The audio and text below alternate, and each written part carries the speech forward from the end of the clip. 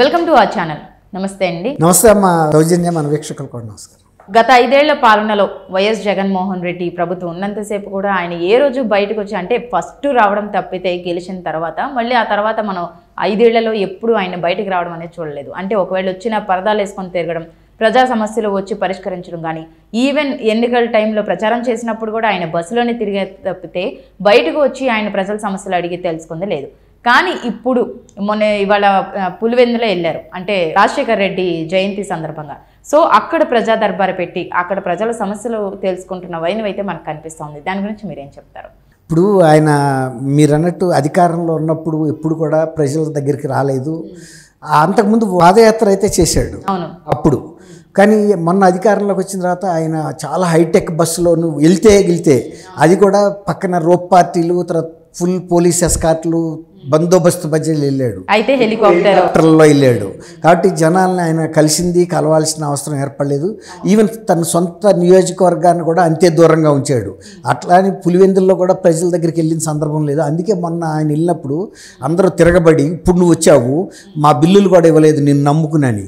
ఇప్పుడు వాళ్ళందరూ ఎగబడకుండా ముందు నుంచే తగిన ప్రైవేట్ బందోబస్తుని అన్నిటినీ పెట్టుకుని ఒక ఆర్గనైజ్డ్గా ఎవరినైతే లోనకు పంపాలో వాళ్ళనే పంపుతారు. మిగిలిన వాళ్ళని బయట ఆపేస్తారు. రానివ్వరు. దూరం దూరంగా రెండు మూడు సర్కిల్స్లో పెట్టి ప్రైవేట్గా ఆపుతున్నారని చెప్తున్నారు ఆయన బందోబస్తు. కాబట్టి ఇవాళ ఆయన ఏమంటాడంటే చంద్రబాబు నాయుడు తను దగ్గరుండి ఈ దాడులు చేయిస్తున్నాడని చెబుతున్నాడు.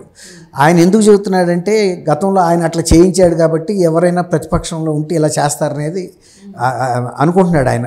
ఇక్కడ కానీ ఆయన తెలుసుకోవాల్సిన విషయం అసలు ఆయన ప్రతిపక్ష హోదా కూడా లేదు కదా. ఇప్పుడు ఆయన చంద్రబాబు నాయుడు గారు ప్రజల్ని వరుసపెట్టి కలుస్తున్నాడు ఢిల్లీ వెళ్ళాడు ఆ పనులు చేసుకుంటున్నాడు తర్వాత పోలవరం వెళ్ళాడు అమరావతి ఇవన్నీ కూడా మళ్ళీ పట్టాల మీద కెక్కిచ్చే మనిషికి ఇతరుల మీద దాడులు చేసే అంత సమయం ఎక్కడుంటుంది ఇప్పుడు చంద్రబాబు నాయుడు గారు జగన్మోహన్ రెడ్డి గారితో నిందపట్టం ఇది మొదటిసారి కాదు.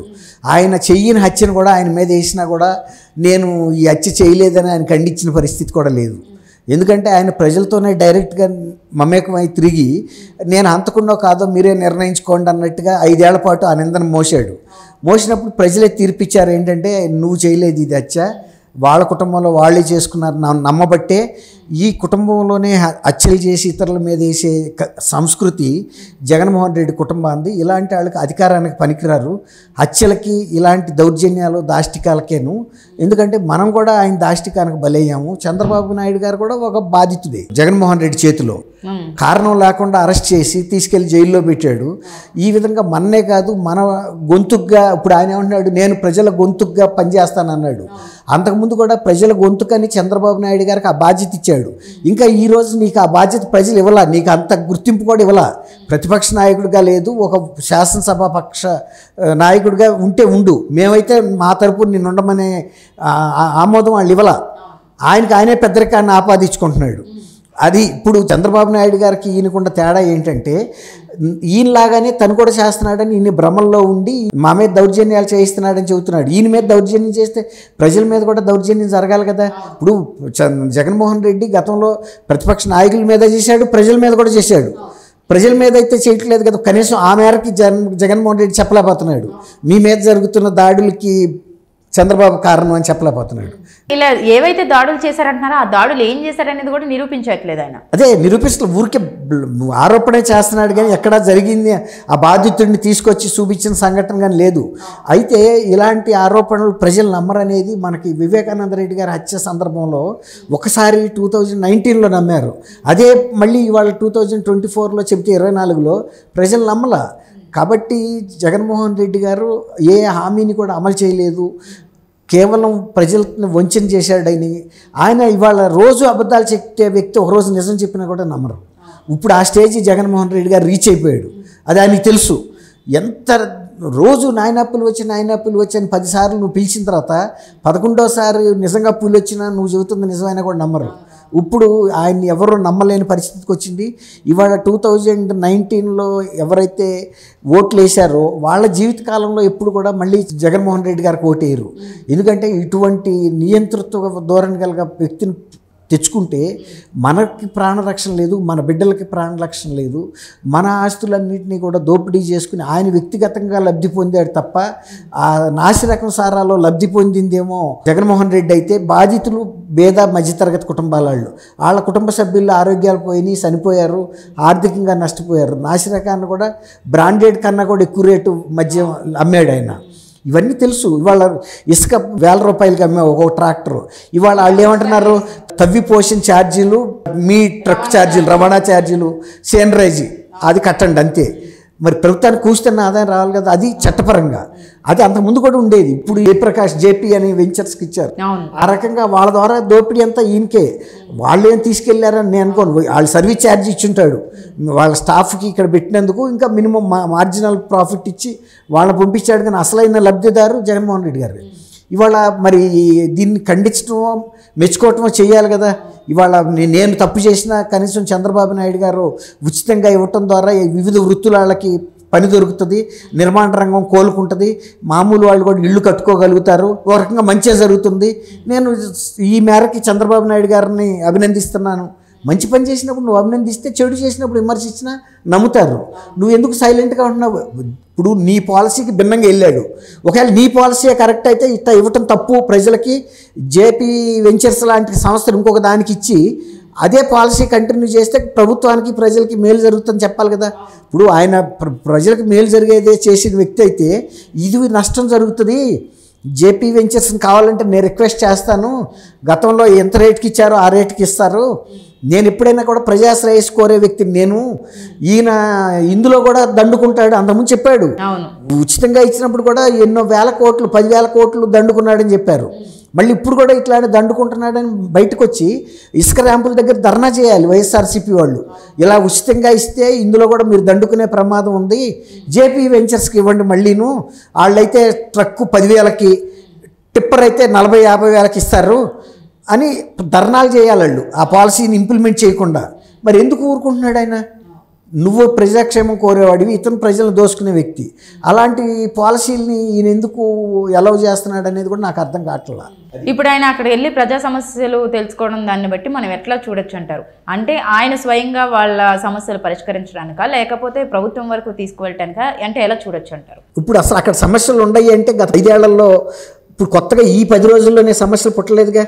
గత ఐదేళ్ళలో ఆయన ఉన్నప్పుడు కూడా ఆ సమస్యలు ఉండబట్టే కదా ఇప్పుడు కూడా ఈ ఇరవై రోజుల్లోనే వాళ్ళు మళ్ళీ వచ్చారంటే. ఈ ఇరవై రోజుల్లో ఒక మొక్క పుడితే ఇది ఎంత పెరుగుతుంది? వృక్షం అవ్వదు కదా సమస్య.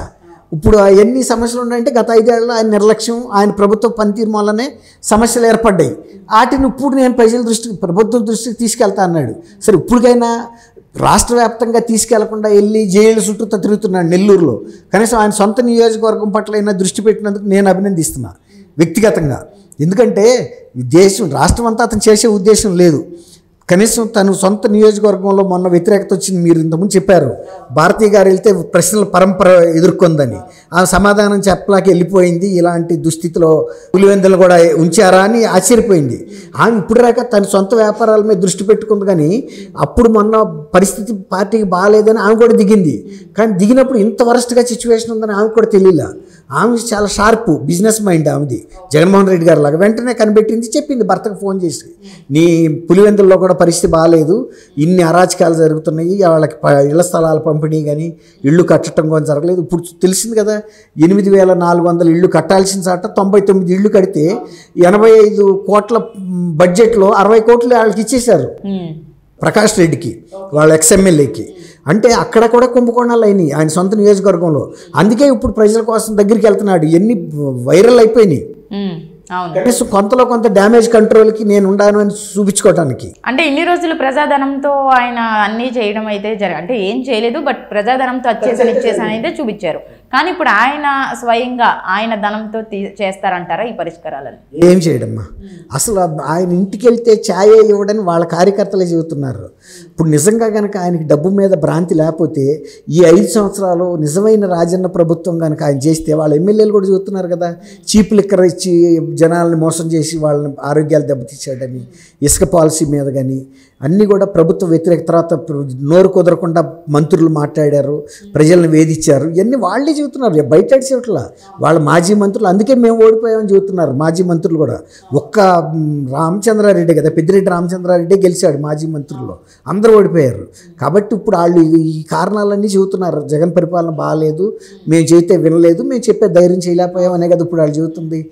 ఇప్పుడు అందుకని కనీసం పులివెందుల్లో అన్న ఇప్పుడు రేపు జగన్ భారతి గారిని నుంచోబెడితే గెలిచే పరిస్థితి ఉండాలి కదా. రేపు కనుక భారతి గారు కనుక ఓడిపోయింది అనుకోండి బై ఛాన్స్ అక్కడ పోటీ చేసి ఇక జగన్మోహన్ రెడ్డికి ఇంకా పరపతి లేనట్టే. ఇక పార్టీ వైండప్ చేసుకోవాల్సిందే. సొంత నియోజకవర్గంలో జిల్లాలో సొంత భార్య నిలబడినప్పుడే గెలవలేకపోతే ఇక మిగిలిన వాళ్ళు ఎందుకుంటారు పార్టీలో? అంటే ఇప్పుడు భారతిరెడ్డి గారిని అక్కడ నిలబెడుతున్నారు కాబట్టి ఆవిడన్నా గెలవాలని ముందస్తు చర్యలు చేస్తున్నారండి ఇప్పుడు ఏదన్నా ఊరకరారు మహానుభావులని ఎప్పుడు ఈ ఐదేళ్ళ నుంచి పులివెందులనే చూడని వ్యక్తి ఇవాళ వచ్చి అక్కడ ఎట్టగొట్ట నన్ను క్షమించండి అన్నట్టు దూరి ప్రయత్నిస్తున్నాడంటే ఆయన ప్రతి నిమిషం వాల్యుబులే కదా? ఆయన ప్రమాణ స్వీకారం చేసిన తర్వాత శాసనసభలో కూర్చున్నాడా? టైం చూసుకుంటా నేను ఐదు నిమిషాల కోసమే వచ్చాను వెళ్ళిపోవాలి. నన్ను తొందరగా చేయించేయండి ప్రమాణ స్వీకారం అని కూడా. ఏదైనా శాసనసభలో ఒక సాంప్రదాయ పద్ధతిగా జరుగుతుంది ఒక ఆర్డర్ ప్రకారం. అయినా ఈయన నేను నంబర్ వన్ గేట్లో నుంచి వస్తానని అడిగాడు. అడగకూడదు. నిన్నట్రాక నువ్వు అధికారంలో ఉన్నావు నువ్వు ఎట్టా అనుభవించావో నియమాలను పాటించావో ఈ ప్రభుత్వం కూడా అలాగే పాటించాలి. ఆయన ఎవరిని అర్హత లేని వాళ్ళని గేట్ నెంబర్ వన్లోంచి అలా చేయలేదు కదా. నువ్వెందుకు అడుగుతావు? నువ్వు కూడా పది మందితో పాటు నువ్వు రావాలి. కాబట్టి ఇవాళ అక్కడ ఎట్టాగూ ఉండలేను కాబట్టి ఇక్కడన్నా ఈమెకి కొంచెం పులివెందుల్లో పరిస్ కొంచెం పరిస్థితులను చక్కదిద్దితే గెలవగలుగుతుందనే ఒక ప్రయత్నం అని నేను అనుకుంటున్నాను.